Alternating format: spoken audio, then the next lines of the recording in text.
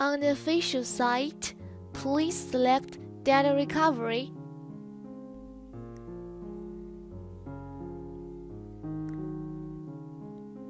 Click for Mac.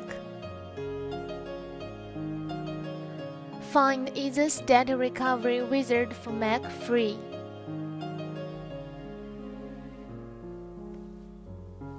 Click Download.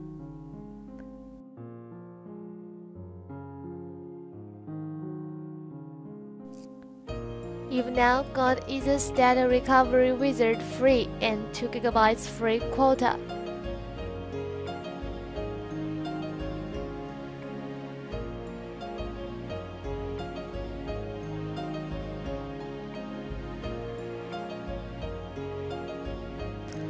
Upon completion of the scan, please select no more than 2 GB worth of lost data, 653 megabytes in this case, and save it to a different drive.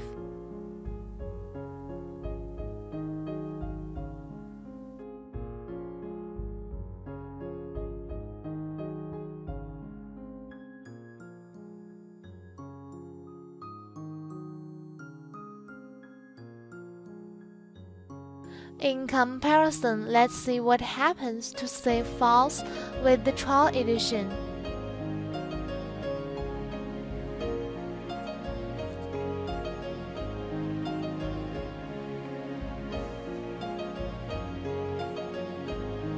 To solve this issue, please export the scan status first.